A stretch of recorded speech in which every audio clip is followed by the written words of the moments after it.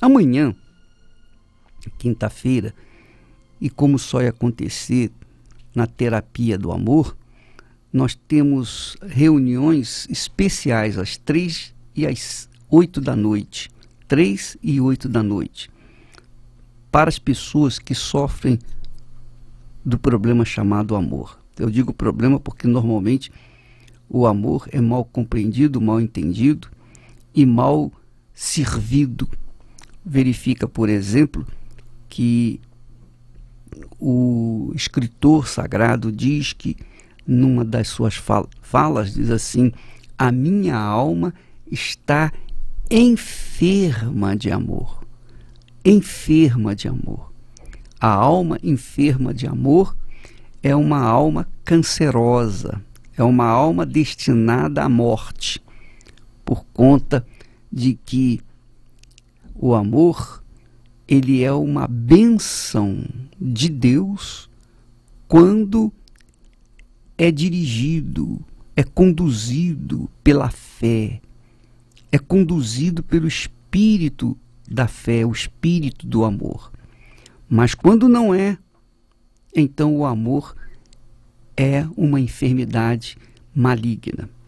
Veja só como diz aqui em Cantares de Salomão no capítulo 8, versículo 6, diz assim: Põe-me como selo sobre o teu coração. Olha só, põe-me como selo sobre o teu coração. A mulher diz para o marido: como selo sobre o teu braço, porque o amor é forte como a morte, e duro como a sepultura é o ciúme. Quer dizer, o amor é forte como a morte. E o ciúmes, duro como a sepultura. Então, muitas pessoas têm sofrido o inferno por conta dos ciúmes. Outras têm sido mal amadas.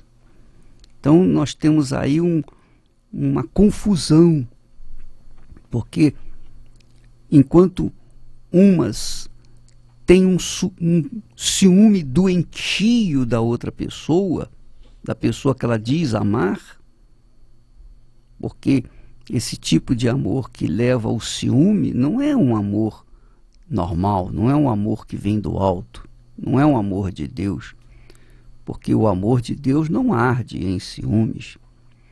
Mas quando o amor arde em ciúmes, ele é do mal.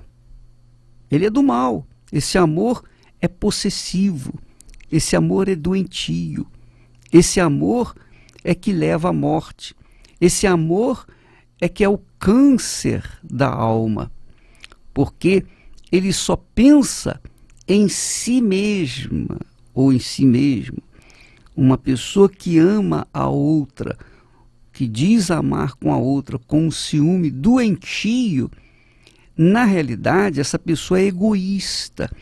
Não é que ela ame a outra pessoa, é que ela se ama, se ama e quer, quer, porque quer ser o centro das atenções da outra pessoa. Ela exige da pessoa que ela ama, que ela diz amar, atenção total. E na realidade, o amor é diferente. O amor de Deus é assim, quando a pessoa ama, ela quer o bem da outra pessoa.